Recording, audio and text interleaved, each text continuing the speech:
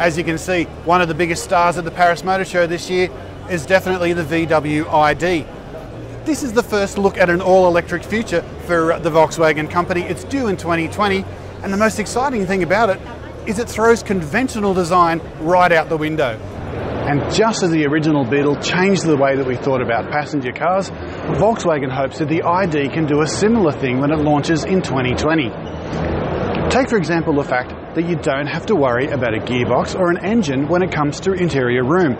This little car has as much space inside it as a current Passat. It's powered by a 125 kilowatt electric motor and the expected range is anywhere up to 600 kilometres.